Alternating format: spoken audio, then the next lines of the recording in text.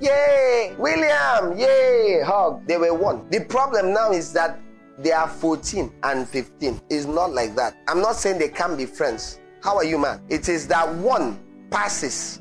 When he's passing with his father, the Lord, he will not come down from the horse and greet you. First, maybe later he'll come to the kitchen. But as he's riding past, coming back from a distance with the king, he passes. Now later, uh, evening, maybe after he's gone through all sorts of state protocol, come to a kitchen. Ah, Billy, he's a humble guy. If he's still humble, but even this will last for just a while. It's not pride, it is what it is. It's the word of the Lord power. Word of God.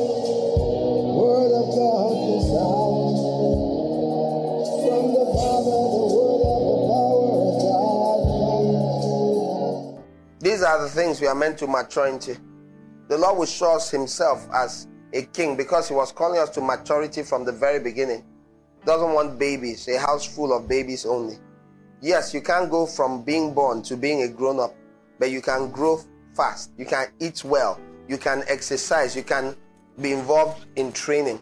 You can be raised like a noble, or you can be raised like someone going nowhere.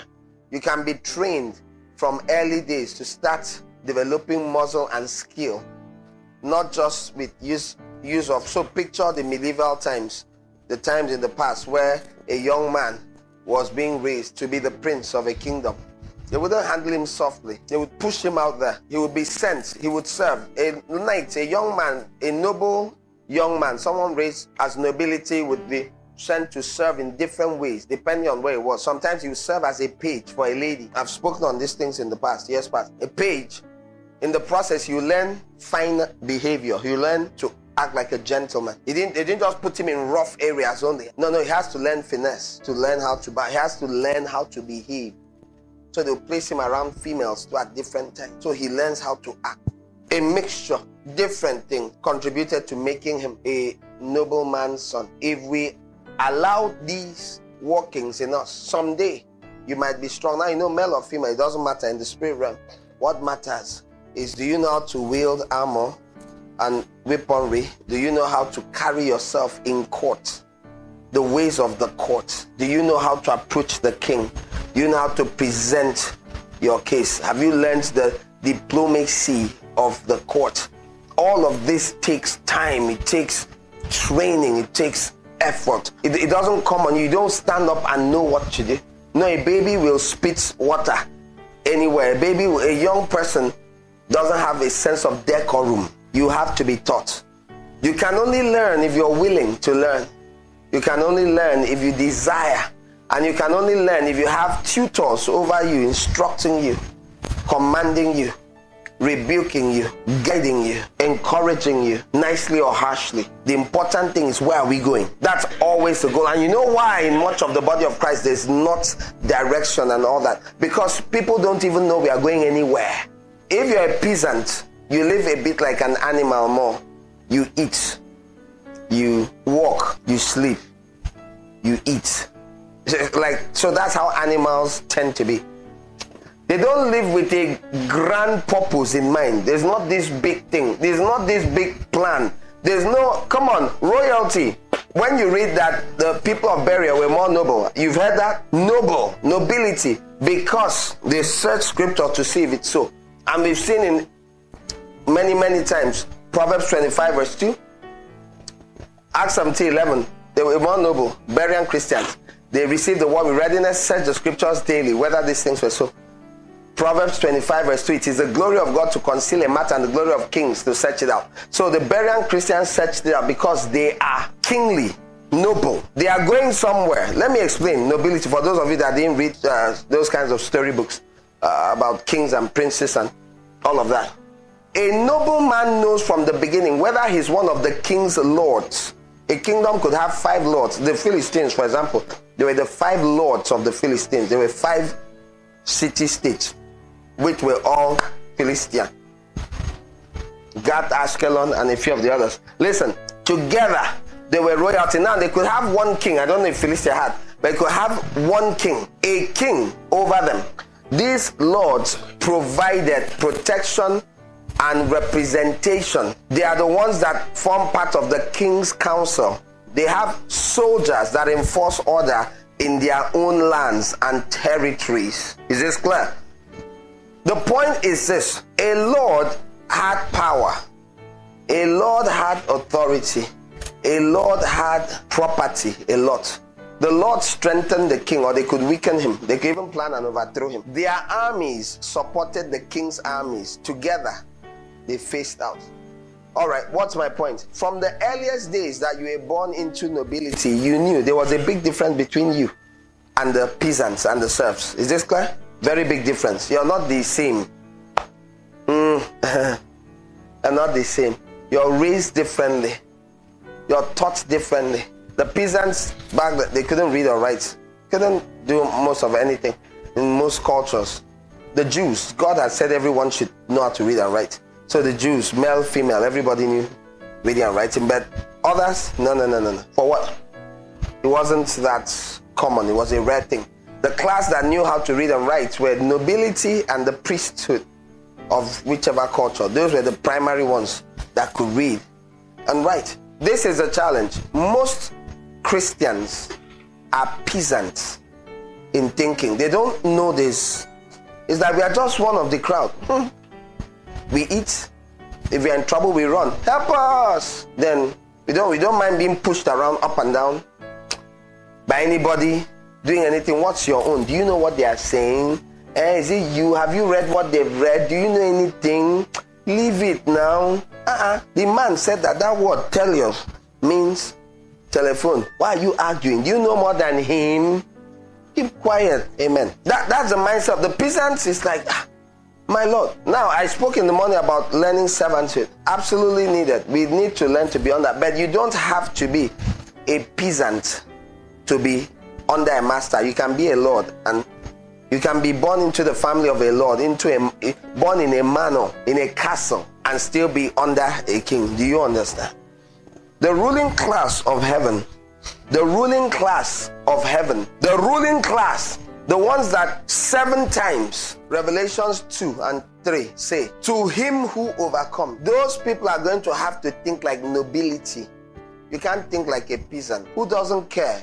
Who does eh, okay, is that the truth? Anything anybody says, you agree. No, Berean Christians search things out. It's the glory of God to hide, conceal matters. It's the glory of kings to search it out. Those who are interested in knowing and understanding and going deeper are the people God will go further with. Those who don't care, who are shallow, you like shallow things. And let's keep it simple. Let's keep it simple. What's my own? If I just have food to, if I just have money, eh, see, eh, see, eh, see, eh, eh, eh, that state of heart cannot carry. Nobility knows from early on that she's going to have to learn how to speak French she will be sent over to her cousin in France. She's going to go and live in the courts of Louis XI for at least three years. She will learn French, she will learn manners, she will learn how to hold a glass, how to dance the waltz. She will learn this, she will learn that, she will all sorts of things because she is royalty. She's not going to be able to be normal. Everything about her is planned. Marriage, everything. You can't just stand up just like anything. Mm-mm, it will lead to problem. Nobility knows they will go deeper. You will learn Latin, Oga. That boy you're playing with, the gardener's son, because you're a little child, understood. You can play with him for a while. But as you begin to mature, you begin to separate. The difference becomes clearer and clearer. When you come back, by the time you're 15, this Oga has stood at table with kings planning war. Lord saying, I will move my soldiers from this point to this point. Give me water. Yes, get cups of wine for everyone here. He's there. He's in. He has stood in the presence of battles being planned, wars. He has ridden in the background from 11 to he's he's learned to ride horses he's practiced jousting he's done all sorts of things billy the farmer's son has heard stories about billy's billy his best friend billy Yay! William! Yay! Hug. They were one. The problem now is that they are 14 and 15. It's not like that. I'm not saying they can't be friends. How are you, man? It is that one passes. When he's passing with his father, the Lord, he will not come down from the horse and greet you. first, maybe later he'll come to the kitchen. But as he's riding past, coming back from a distance with the king, he's sitting straight like this because that's how he's been trained. He passes. Now later, uh, evening, maybe after he's gone through all sorts of state protocol, come to the kitchen. Ah, Billy, he's a humble guy. If he's still humble, he doesn't. If he still doesn't care, but even this will last for just a while. It's not pride. It is what it is his brain and Billy's brain. If you see the gap, he speaks three languages. Billy's the quality of English Billy speaks, the Cockney accent, you can't understand it. This guy speaks Latin, writes in Latin, speaks French, writes in French, speaks a Germanic language, writes in it, and speaks English. He spent two to three years in each of those countries in castles and manors. I am sorry, you are not the same. You know that thing where say where everybody is the same. I didn't say you're not a human being. You have two eyes, one nose, but you're not the same. Again, not because you want to be different, but the purpose of your life. Are you listening? You understand this thing I keep saying about purpose? The purpose of your life does not allow for you to go on like Billy, whose most fantastic exposure to date, after he grew up out of his mother's stories by the fire at night, has become his father's tales.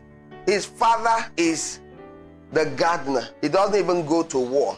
But he remembers when he was a boy and their clan came under attack and they told every young man to pick up whatever implements they had. That was the one time his father saw some action. But his father's brother, who joined the king's army, this thing has told them stories before he died four years ago. He had told them so. So those are the stories Billy has grown up hearing. Story. William has seen battle, has been in the tents of warfare. William has gone out in the company of the two different lords he stayed with. He's been right next to them. He's seen men's legs cut off, bleeding. He's seen people dying. He has seen warfare. His brain is much more mature. He's, he's not trying to look down on Billy but they don't have that much to gist. When Billy opens his mouth, say, "Hey, mate, yeah, ah, today I saw her." It's not pride that can't let them gist long. Who can understand what I'm saying? It's not pride that is interfering with the ability to gist. It's it's lack of commonality. As he's listening to Billy, sounds like he's talking to a three-year-old. He he the amount of humility it takes to stay. But even as he's there, he knows well, I probably won't see this guy again for another five years. Even if we see Ah, what will we say now? Billy's all, hey, this, this some fancy clothes, hey, hey, hey, hey, you're some fancy guy. now. Hey, Billy is like almost imbecilic in his eyes. Not because he is. Billy is absolutely normal. He's popular among his. Do you understand? The problem is William. William has been hanging out with lords, with with another eh, level of humanity. William is being trained to fight battles. A time will come, William may be put in charge of a ship with 200 soldiers in it and be sent to land in a foreign country, Prussia, for example, back then, land and an attack. When the king has meetings, the present king or the upcoming king, depending on his father, dies, they will call and say, You, your men will take here, here, here. Those are the kinds of responsibilities William is going with. Billy, Billy, anyone that conquers their village will rule him. Can you understand the problem? Question, which, what are you? Because if you're a Billy, I will always be boring. I don't even know what he's saying. That is, that's Greek to me. If you're a William, maybe we might find common ground. We might be able to engage in ways that are beneficial to us both if you care about the things that the king cares about. Because that is the real difference.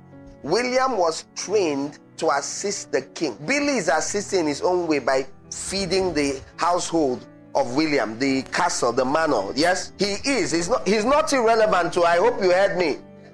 But it's on a different level. They, they are not going to call Billy ever and put him in charge of. Eh, he might be in charge of the other gardeners. Are, there's a team of eight main gardeners with their families that handle things. He might end up being the head gardener. That's outstanding. That's the highest post he's aiming for. He has goals. He told William the last time he came, he said, You know, no, no, no, no. My father said they're thinking of making me the, the, the next head gardener. It's a great aspiration. It's, it's the highest he can aim for it. It's his dream. Is it evil? No. Everybody cannot be one of the lords around the, in the king's court. Cannot be in the king's council. Everyone cannot be. It's impossible. There always has to be leadership. I am not saying you should aspire for what God has not called you to be. But I'm trying to let you know that there is a calling like this. This is what is known as the hope of his calling. Ephesians 1 17, 18. I pray for you that the eyes of your understanding be enlightened so that you may know the hope of his calling. The hope of Billy's calling is to be head gardener. The hope of William might even be to be king because he's related to the king. And if all the male in that family, even the female, pass away, by the time they count in lines of succession, he stands at position number four. If anything happens to others, he will be the next person position. He might become king, but at the very least, he is always going to be on the king's council. He will always be relevant. There are only seven like him that advise the king only at that level of authority. He commands thousands of men in his land. When battles finish, when they are sharing rewards, they don't say, take 500 ducats money. They know that's not what they say. They say, well, out of this newly conquered territory, I'll be giving you the province of they, they share they share towns. That's that's the level. When they praise Billy for doing well, they throw him a silver coin. Boom, and he's very happy. He hasn't seen this kind of money except two times. They gave his father one. I hope the illustration helps. This is the thinking of nobility, and this is the reason people gave up their life. There's a nobility in the future. He commented on it where Jesus said, The least and the greatest in the kingdom. That's the peasants in Matthew 5. The peasants and the royalty and everything in between. Multiple levels. And all the choices you make today determine what you will be. So, this is why the devil focuses on distracting us with money and everything else. At the end, you're going to end up being a Billy because all you're interested is food. Like you are a common, you're just an empty person. You're not very evil, but you are very normal. And then there will be those who say, No, no, I, I aspire for higher things. Please, not money. The book of Ecclesiastes tells you, Woe to you, O land, if your rulers are children who wake up to eat early in the morning for your belly live for. Uh, you want money early in life.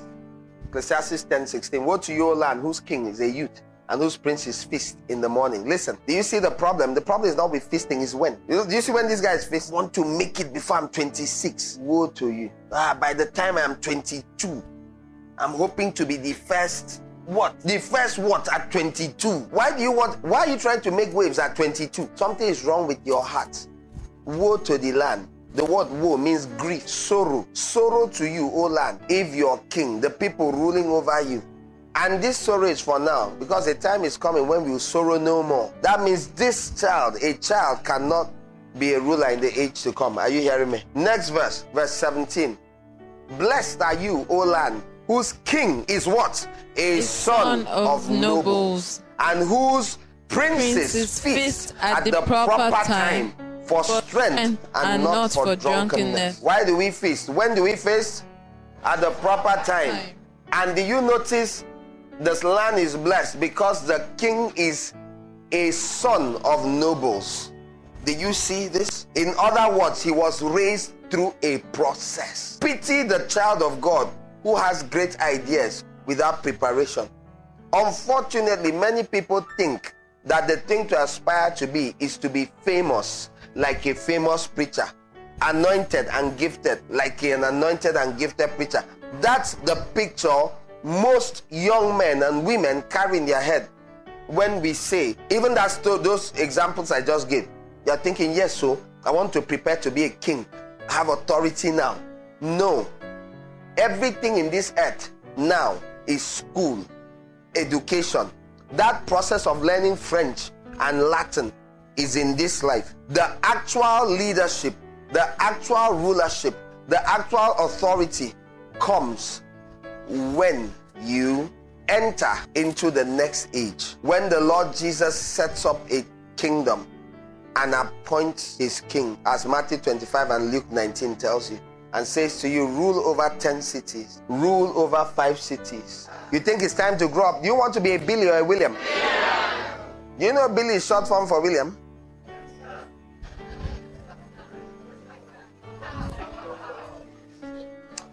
So that's the difference. They will not call him King Billy the Third because their lives are taking different directions. Billy, who call him William? Who can pronounce William in his village? This is a William. William, Lord of Gloucester. The other guy is Billy the gardener's son, who goes on to become Billy Gardner. That's where the names came from. All those farmer, all those white names, that's where it came from. I'm serious. Smith, their lineage. They used to work with metal. Yes. But the nobility's name will be William Estuval Gloucester, Reginald Bloomington. They come, their, their lineage matters. They hold it. This other one, Billy the farmer's son, Billy Farmer. They called his father Farmer till it became his name. I hope all of us will go on to be William. I hope you desire the deeper things of God. I hope you will mature. I hope we will remember the message. Light to everyone.